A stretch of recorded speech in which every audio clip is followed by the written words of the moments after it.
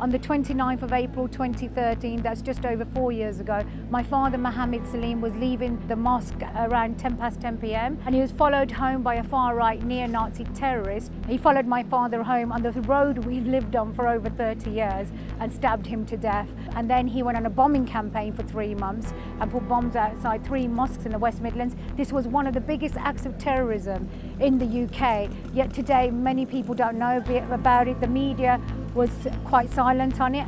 In comparison to Lee Rigby's death, he was murdered three weeks after my father's brutal murder. And we saw Theresa May go out with the Cobra meetings. Mosques had to condemn the attack, but we didn't have any of this. We had basically a deafening silence. I remember sitting in my flat and when I heard the news that my father was brutally stabbed, my second oldest sister called me and said, Dad's been stabbed. And then within minutes, my older sister called me and said, Dad's dead.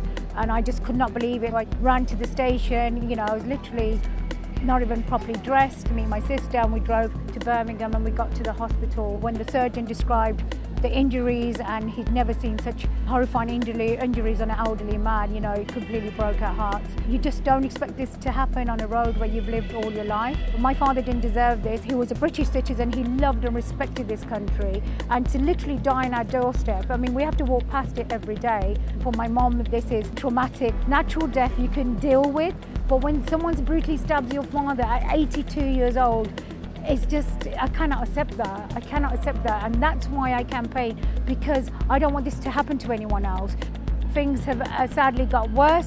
Islamophobia is rife, it's burning through the world right now. Pavlo Lapshyn, who murdered my father, read a lot of anti-Muslim media. This is what spewed his hatred. We have to look at what the media does, the rhetoric it pushes out against Muslims on a daily basis. Trevor Kavanagh's piece for The Sun saying there is a Muslim problem. This article will lead to more Islamophobic attacks and murders on our street because what he's done here, he's used the word the Muslim problem. Do you remember from Hitler's handbook, the Jewish problem? We're seeing echoes of the 1930s here, where Muslims are now treated in the same way as the Jews were, and the rise of fascism in the States is very dangerous and we can't let that happen here in the UK. We need to challenge Trevor Kavanagh, we need to challenge Sarah Champion as well. Recent articles in regards to the grooming scandal which is demonising all Pakistani men as rapists. My father was a Pakistani, my family is Pakistani, my brothers are Pakistani. How can you say all Muslim men are rapists? And we need to challenge every single one of these people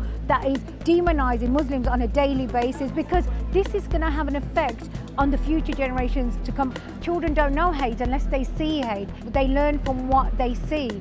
And what we are seeing today in schools, 69% increase in Islamophobic bullying.